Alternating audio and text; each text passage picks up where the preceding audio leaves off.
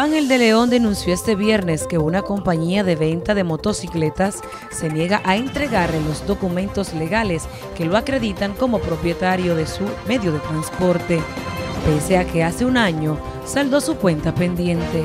La situación mía es que yo le compré ese motor a ese muchacho de tipo Motosan. Yo fui a reclamar la matrícula, ahora está todo pago, el motor tiene un año y pico pago, mira como tú puedes ver ahí, lo único que ellos no, salieron, que me iban a dar puñalada y que cuando me vieran a la calle me iban a dar lo mío.